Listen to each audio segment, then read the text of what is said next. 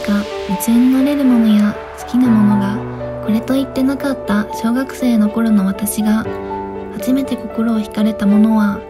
テレビの中で笑顔で歌って踊るキラキラしたアイドルでした。初めてアイドルのオーディションを申し込んだのは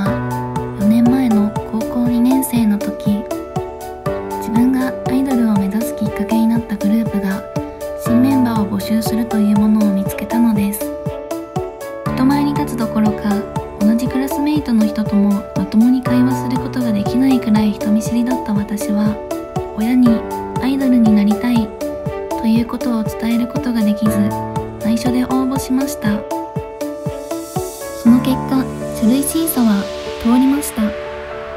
ずっと夢だったアイドルにたった一歩だけど近づくことができた瞬間は涙が出るほど嬉しかったことを覚えています。そして二次審査以降が行われる場所は東京。当時九州に住んでいた私は勇気を出してオーディションを受けたことを親に伝えました。しかし東京という離れたところで活動することやこれからの学校生活のことを理由に反対されました。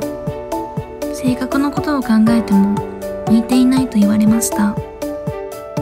その時の私は一人で東京に行くこともできずそのオーディションを諦めてしまったのです。その後新メンバーが決まったという発表を見たりそのメンバーが活躍している姿を見るたびにずっと悔しいという気持ちが抜けないまま高校3年生の進路選択の時期になり迷わず東京の学校への進学を決めました。私の将来の夢はアイドル以外考えられなかったからです。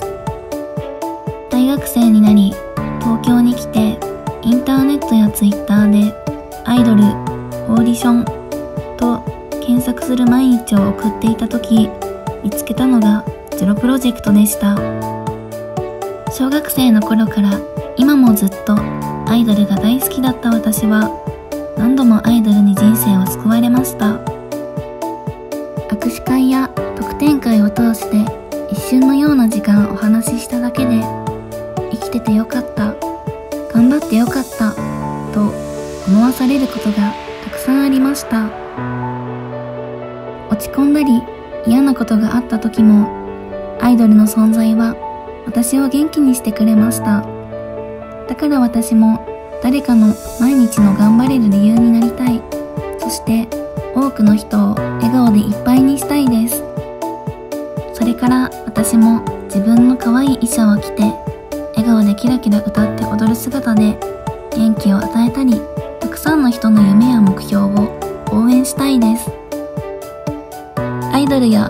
を好きになったり夢を見つけたあの時の自分と同じように誰かの心を動かすことのできるアイドルになりたいです。